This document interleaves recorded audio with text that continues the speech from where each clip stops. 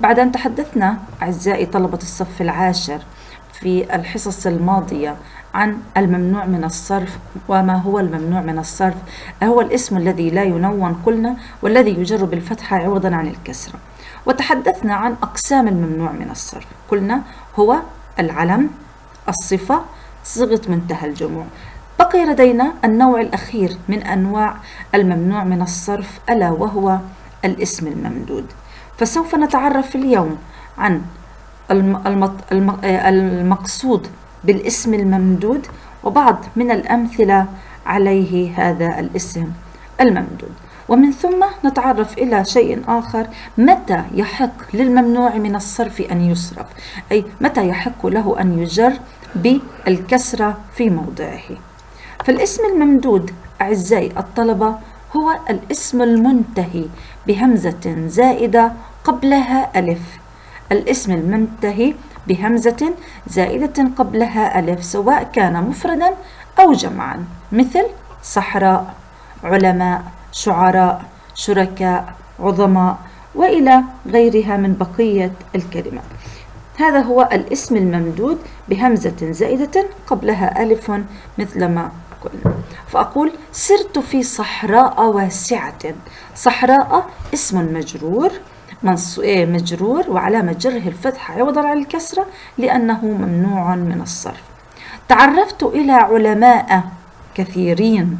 انظر علماء جرت بالفتحة عوضا عن الكسرة. فعلماء مفردها عالم فالهمزة هنا زائدة. صحراء من الفعل صحرة فالهمزة هنا زائدة. أقول علماء شعراء مفردها شاعر شركاء شريك عظماء عظيم. وإلى غيرها من أنواع الأسماء الممدودة في اللغة العربية التي كنا قد تعرفنا عليها في الصف التاسع إذا تذكرون ذلك الموضوع. الآن متى يحق لهذه الكلمات أو الأسماء الممنوعة من الصرف أن تجر بالكسرة كما هي في اللغة العربية أو كبقية الأسماء التي تجر بالكسرة؟ أقول يجر حالات صرف الممنوع من الصرف. يجر الممنوع من الصرف في الحالة الأولى إذا وقع مضافا. ما المقصود إذا وقع مضافا؟ أي إذا جاء بعده مضاف إليه. فأقول هي مررت بمدارس جديدة. هنا جديدة نعت لكلمة مدارس. نعم. وجد فمدارس هنا مجرورة بالفتحة عوضا عن الكسرة. هلا متى الآن متى يحق لي أن يقول بمدارسي؟ أقول بمررت بمدارس العاصمة. ما إعراب العاصمة هنا؟ العاصمة هي مضاف إليه مجرور وعلى جره الكسرة أي أن مدارس جاءت مضافة. فبما أن مدارس جاءت مضافة وجاء بعدها مضاف إليه فيحق لكلمة مدارس الممنوع من الصرف هنا أن تصرف أي تجر بالكسرة الحقيقية كما باقي الكلمات في اللغة العربية. هذه هي الحالة الأولى. الحالة الثانية إذا عرفت بأل إذا جاءت معرفة بأل التعريف أقول مثلا بالنسبة لكلمة أبيض كان لون الثوب أبيض. أبيض هنا. نعت. كان لون الثوب أبيض. ماذا كان لون الثوب؟ عفوا هنا أبيض. فأبيض هنا إعراب أبيض هي آه، خبر كان منصوب علامة نصبه الفتحة. نصبت بالفتح عوضا عن التنوين. لماذا؟ لأنها ممنوعة من الصرف. أقول هنا اشتريت حذاء مناسبا للثوب الأبيض. انظر. جررتها بالكسرة. لماذا هنا جرت بالكسرة ولم تجر بالفتحة؟ لأنها عرفت بأل فالأبيض جررتها بالكسرة. على الرغم من أن كلمة أبيض هي ممنوعة من الصرف يجب أن تجر بالفتحة إلا أنها هنا جرت بالكسرة وصرفت بسبب أنها جاءت معرفة بأل. فهكذا نعرف عفوا تصرف الكلمات في اللغة العربية الممنوعة من الصرف. هكذا يكون درسنا أو وحدتنا الممنوعة من الصرف. انتهت. الحمد لله رب العالمين. وشرحها قد تم بكافة تفاصيله. الآن ننتقل إلى بعض أسئلة وتمارين الكتاب الموجودة لدينا ونحلها معا أنا وإياكم. لو قلت التدريب الأول الموجود لدينا استخرج الأسماء الممنوعة من الصرف فيما يأتي واذكر سبب منعها. قال تعالى قل صدق الله فاتبعوا ملة إبراهيم حنيفا وما كان من المشركين. صدق الله العظيم. لو جئنا أن ننظر ما الاسم الممنوع من الصرف هنا؟ اتبعوا ملة إبراهيم. إبراهيم هي الممنوعة من الصرف لأنها علم أعجمي. نعم حسن. المثال الثاني. إن أخاك أكرم مثال للشباب الناجح إذا تحدى إعاقته محققا التفوق على أقرانه. الممنوع من الصرف هنا أكرم. أكرم لأنها اسم علم على وزن الفعل. قال الشاعر حيدر محمود أرخت عمان جدائلها فوق الكتفين فاهتز المجد فاهتز المجد وقبلها بين العينين. الممنوع من الصرف هنا هي كلمة عمان. عمان لأنها علم مؤنث تأنيثا معنويا. الرابع لخولة أطلال ببرقة ثهمدي تلوح كباقي الوشم في ظاهر اليد. الممنوع من الصرف. هنا خولة خولة لأنها علم مؤنث تأنيثا لفظيا ومعنويا أيضا. كلاهما انتهت بالتاء المربوطة. الله يا وطنا ما زال يجمعنا بين الجوانح لا قيس ولا مضر. طبعا هنا الجوانح هي صيغة منتهى الجموع ممنوعة من الصرف لكن بسبب تعريفها بأل التعريف صرفت. آه، فلا أعتبرها هنا ممنوعة من الصرف إذا أردت أن أعددها.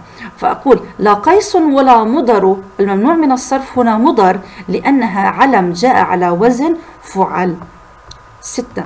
كوكب زحل من كواكب المجموعة الشمسية. الممنوع من الصرف هنا زحل علم أيضا على وزن فعل. سبعة. جاء في, الأمثال ما كل سوداء تمرة ولا كل بيضاء شحمة سوداء وبيضاء لأنها صفة على وزن أفعل ومؤنثها فعلاء فسوداء مذكرها أفعل وبيضاء أيضا مذكرها أفعل. التدريب الثاني ضع الصفة أخضر في ثلاث جمل تكون مرفوعة منصوبة ومجرورة. هذا أتركه لكم أعزائي الطلبة تضعونها كيفما تشاءون في جمل مفيدة. التدريب الثالث. عين صيغة منتهى الجموع ثم أضبط آخرها التي تلي الآية الكريمة. قال تعالى لقد, لقد نصركم الله في مواطن كثيرة ويوم حنين. إذ أعجبتكم كثرتكم فلم تغن عنكم شيئا وضاقت عليكم الأرض بما رحمت ثم وليتم مدبرين. صدق الله العظيم. الممنوع من الصرف هنا في مواطن مواطن هنا صيغة منتهى الجموع. أيضا هذه في الآية الكريمة.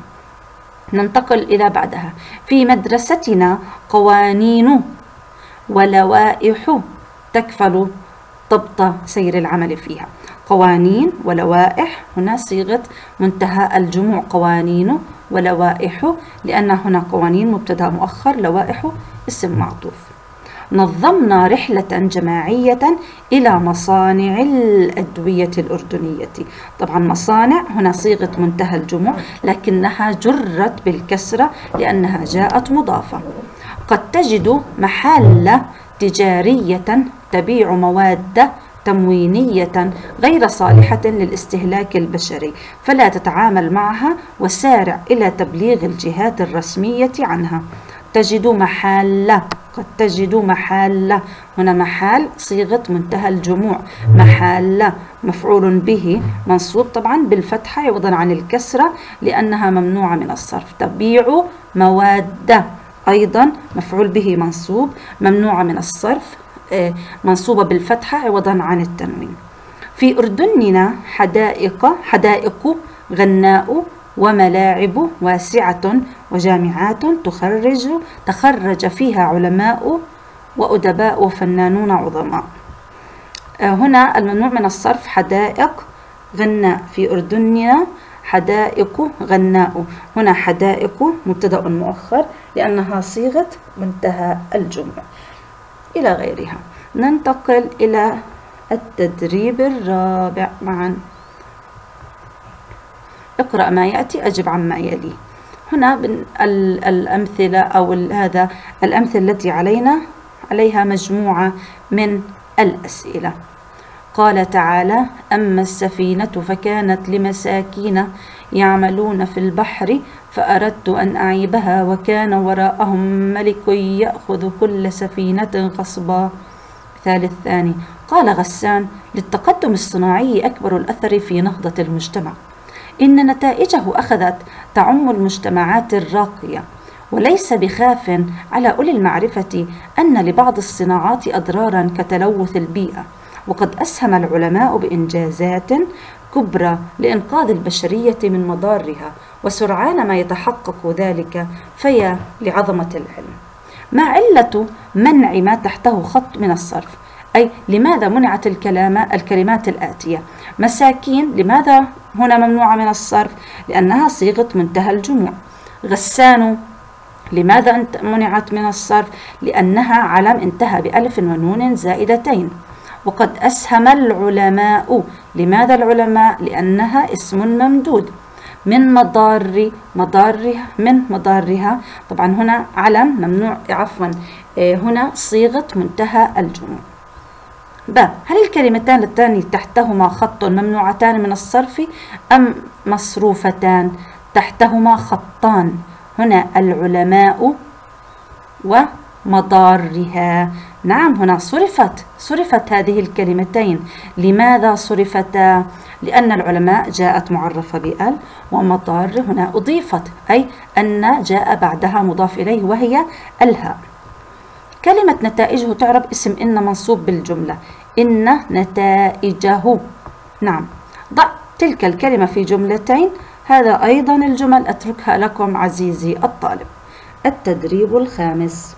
ضع خطا تحت الاسم ممنوع من الصرف ثم أضبط آخره.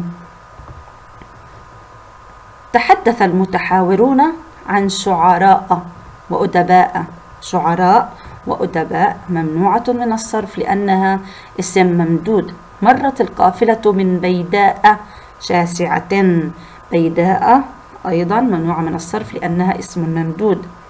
تخرج الجامعات الأردنية مدرسين ومدرسات وأطباء. انظر. أيضا أطباء لأنها اسم ممدود. استمعت ابتسام وعلاء. ابتسام ممنوعة من الصرف لأنها علم مؤنث تأنيثا آه، معنويا. نعم. التدريب السادس.